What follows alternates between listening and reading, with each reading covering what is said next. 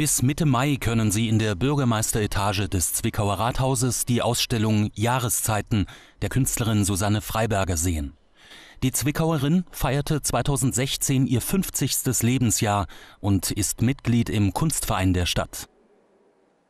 Motivisch orientieren sich ihre Arbeiten tagebuchähnlich an gewissen Lebenssituationen. Dabei sind derzeit florale Anlehnungen menschlichen Eigenschaften und Befindlichkeiten gleichgesetzt.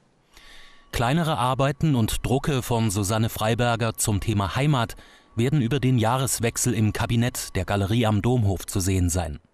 Weiterhin vier neue Lithografien mit Blick auf Zwickau.